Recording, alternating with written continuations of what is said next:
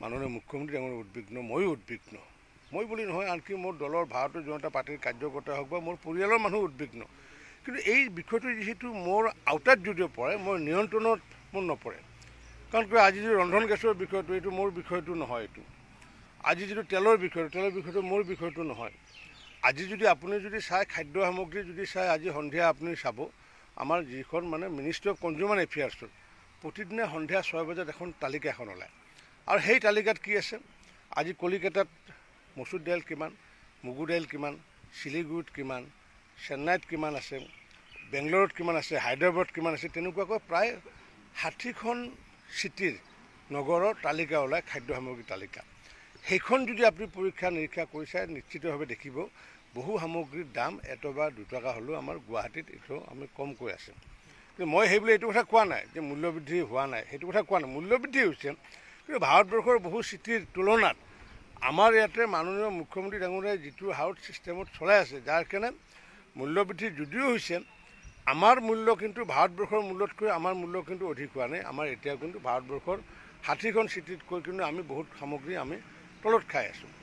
গতিকে এইটো যিহেতু আমি নিয়ন্ত্ৰণ কৰি ৰাখিব সক্ষম হৈছোঁ। এই জিকাৰ দাম বাঢ়িলে এতিয়া খাদ্যমন্ত্ৰীক দোষাৰোপ কৰে এই জিকা পটল ভেন্দিলৰ মোৰ সম্পৰ্ক নাই। এতিয়া কণীৰ দাম বাঢ়িলে মোকে সমালোচনা কৰে সংবাদ মাধ্যমে। মই বেয়া নাপাওঁ কাৰণ কিয় যিহেতু ময়ো এগৰাকী সংবাদকৰ্মী আছিলোঁ। কিন্তু এতিয়া কণীৰ দাম বাঢ়িলে এতিয়া কণী এতিয়া আমাক লাগে অসমত লাগে আমাক এশ বাৱন্ন কোটি per annum. Hundred and fifty two crore per annum আমাক কণী লাগে। আমি প্ৰডাকশ্যন কৰোঁ আঠচল্লিছ কোটি। যেতিয়া দাম বাঢ়ে যোগান মন্ত্ৰীয়ে কুম্ভকৰ্ণ নিৰ্দাত পঢ়ি আছে ময়ো চাই থাকোঁ শুনি থাকোঁ উপায়ো নাই এতিয়া। আজি কৰোণা কালৰ পিছত বহু দেশৰ প্ৰধানমন্ত্ৰীয়ে কিন্তু নিজৰ অৰ্থনীতি ধৰি ৰাখিব নোৱাৰিলে। বহু দেশত অৰ্থনীতি বিধ্বস্ত হৈছে। কিন্তু ইয়াৰ লাকি এনাপ যে মাননীয় নৰেন্দ্ৰ মোদী ডাঙৰীয়াৰ দৰে এজন প্ৰধানমন্ত্ৰী পোৱাৰ কাৰণে তেওঁ কিন্তু আমাৰ ভাৰতবৰ্ষৰ অৰ্থনীতি চম্ভালি ৰাখিবলৈ সক্ষম হৈছে। যথেষ্ট মনকষ্ট পাইছে তেখেতে। তথাপি অৰ্থনীতি চম্ভালি ভাৰতবৰ্ষৰ দৰে ইমান এখন বৃহৎ দেশৰ অৰ্থনীতি চম্ভালি ৰখাটো এটা সহজ কথা নহয়। মাননীয় প্ৰধানমন্ত্ৰী নৰেন্দ্ৰ মোদী ডাঙৰৰ ওপৰত মোৰ অগাধ বিশ্বাস আছে যে এই বিষয়টো নিশ্চয় তেওঁ চম্ভালি ল'ব পাৰিব বা আগন্তুক দিনত আমি সকাহ পাম বুলি মই দৃঢ় বিশ্বাসী। মাননীয় মুখ্যমন্ত্ৰী ডাঙৰ উদ্বিগ্ন ময়ো উদ্বিগ্ন। মই বুলি নহয় আনকি মোৰ দলৰ ভাৰতীয় জনতা পাৰ্টীৰ কাৰ্যকৰ্তা হওক বা মোৰ পৰিয়ালৰ মানুহ উদ্বিগ্ন। কিন্তু এই বিষয়টো যিহেতু মোৰ আওতাত যদিও পৰে মোৰ নিয়ন্ত্ৰণত মোৰ নপৰে। কাৰণ কিয় আজি যিটো ৰন্ধন গেছৰ বিষয়টো এইটো মোৰ বিষয়টো নহয় এইটো। আজি যিটো তেলৰ বিষয়টো তেলৰ বিষয়টো মোৰ বিষয়টো নহয়। আজি যদি আপুনি যদি চাই খাদ্য সামগ্ৰী যদি চাই আজি সন্ধিয়া আপুনি চাব আমাৰ যিখন মানে মিনিষ্ট্ৰি অফ কনজিউমাৰ এফেয়াৰ্ছত প্ৰতিদিনে সন্ধিয়া ছয় বজাত এখন তালিকা এখন ওলায়। আৰু সেই তালিকাত কি আছে? আজি কলিকতাত মচুৰ দাইল কিমান মগু দাইল কিমান শিলিগুৰিত কিমান চেন্নাইত কিমান আছে বেংগলোৰত কিমান আছে হায়দৰাবাদত কিমান আছে তেনেকুৱাকৈ প্ৰায় ষাঠিখন চিটিৰ নগৰৰ তালিকা ওলায় খাদ্য সামগ্ৰীৰ তালিকা। সেইখন যদি আপুনি পৰীক্ষা নিৰীক্ষা কৰি চাই নিশ্চিতভাৱে দেখিব বহু সামগ্ৰীৰ দাম এটকা দুটকা হ'লেও আমাৰ গুৱাহাটীত এইটো আমি কমকৈ আছে।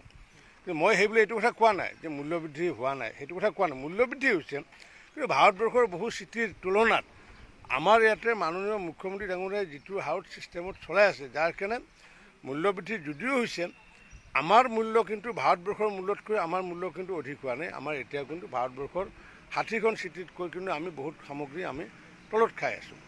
গতিকে এইটো যিহেতু আমি নিয়ন্ত্ৰণ কৰি ৰাখিব সক্ষম হৈছোঁ। এই জিকাৰ দাম বাঢ়িলে এতিয়া খাদ্যমন্ত্ৰীক দোষাৰোপ কৰে। এই জিকা পটল ভেন্দিলৰ মোৰ সম্পৰ্ক নাই। এতিয়া কণীৰ দাম বাঢ়িলে মোকে সমালোচনা কৰে সংবাদ মাধ্যমে।